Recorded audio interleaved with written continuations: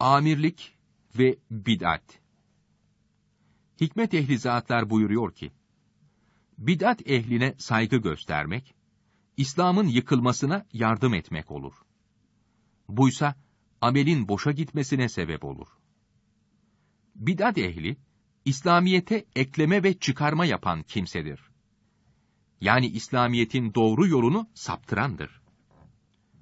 Bid'at sahibi, Resulullah Efendimizin sünnetinden, yolundan ayrıldığı için, ondan gelen feyizlerden faydalanamaz. Hadis-i şerifte, bid'at ehlinin cenazelerine gitme. Onlarla birlikte namaz kılma. Ben onlardan değilim buyuruldu. Şibli Hazretlerinin Halife Harun Reşid'e nasihati şudur. Sen bir suyun, bir pınarın başındasın. Millet bu suyu içiyor. Evlere bu su gidiyor. Bu suya ne koyarsan, millet onu içecektir. Bu suyu kirletme.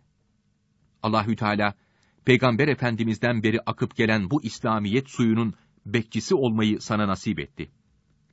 Bu suya pislik karıştırma, karıştırılmasına da izin verme.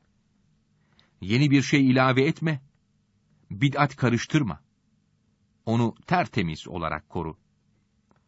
Bu suya ilave edilecek her şey, o suyu kirletir. Ona bir şey ilave etme. Milleti bozma. Çünkü artık millet seninle beraber cennete veya cehenneme gidecek.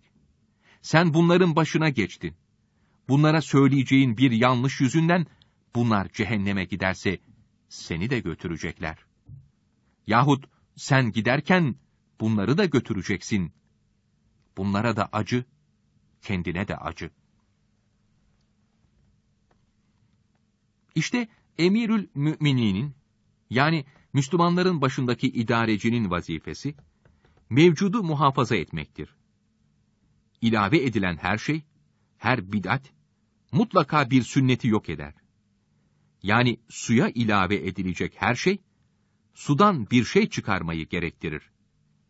Çünkü o su, kemal derecesindedir. Allahü Teala ben dininizi kemale erdirdim buyuruyor. Kemale ermiş olan bu dine bir şey ilave etmek için bir şeyin çıkması gerekir.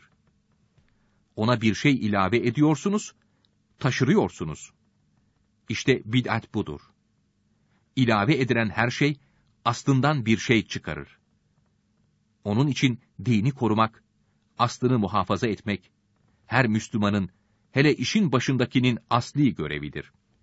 Dolayısıyla milletin başına geçmekten, onların önüne düşmekten daha büyük tehlikeli şey yoktur.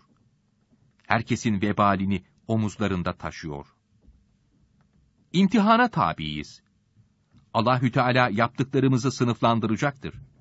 Kendisi için yapılanları kendisine ayıracak, nefsimiz yani kendimiz için yapılanları bize bırakacaktır.